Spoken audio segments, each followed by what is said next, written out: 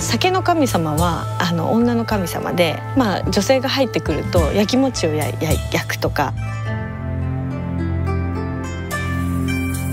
I recall going with my wife to visit a sake brewery. And as we were taken into the brewery, he said, try not to let the Toji see you in the brewery. He just doesn't like a woman in the brewery. And this was only 25 years ago.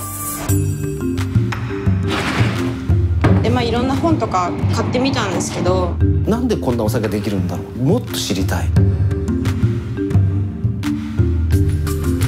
味的にやっぱ厳しいなっていう危機感はすごいあったんですよね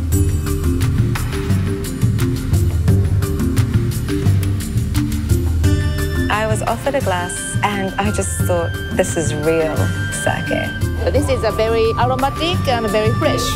どういう味の酒を作りたかったですかって言われたらいやそれわからないからやってなかったっていう感じなんですけど当時として、えー、自分があのこういう酒を作っていくんだと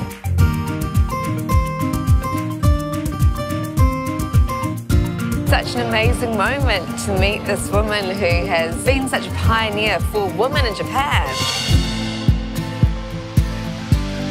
すごいね絶対妥協せたんびに教えてもらえるんですごい勉強になるんですよね何ですか好きです嬉しいです Thank you. 女性がどんどんこう意見というか意見をこう入れていくと日本酒ってもっと楽しくなるっていうか。すっごいいいと思うよ。乾杯！あそれってこんなに幸せなことなのかって